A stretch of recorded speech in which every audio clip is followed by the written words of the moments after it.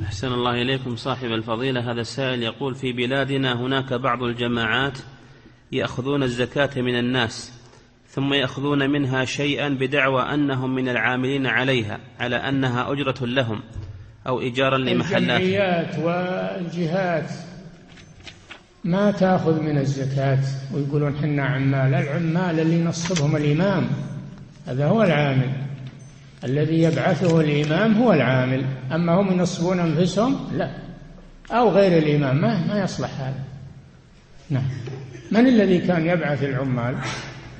ويعطيهم أليس الرسول صلى الله عليه وسلم؟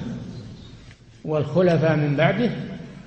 الذي يوليه الإمام جباية الزكاة هو الذي يأخذ منها مقابل عمله. نعم.